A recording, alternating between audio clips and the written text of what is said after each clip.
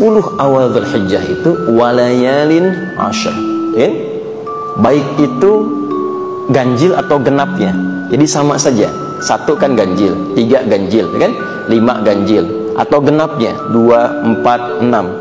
Itu awal Dzulhijjah tanggal 1 sampai 10 itu semua punya keutamaan. Semua punya kemuliaan.